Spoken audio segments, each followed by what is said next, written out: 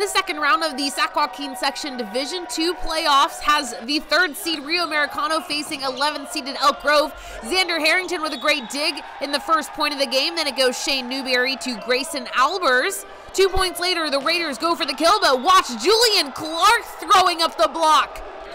Fast forward, 23-21 Raiders, the dig from Jaxson Vidana. Harper Gardner sets Harrington in the back row, and Rio Americano goes on to take the first set 25-22. Set two, Vidana receives the serve. Armaan Prakash sets up Benjamin Ly. This time it's the herd on top first. But Rio goes on a run. Harrington, Newberry, then Joey Thalken. Yes, sir. Ly to Jonathan Milano to Prakash and the herd looking to stop the Raiders from running away with the set, but to no avail. Thalken to Newberry to Gardner and Rio Americano goes up two sets to none and the Raiders would go on to take the third set. Here is match point for the Raiders. Harrington ends it with some defense. Rio Americano lives to see another game.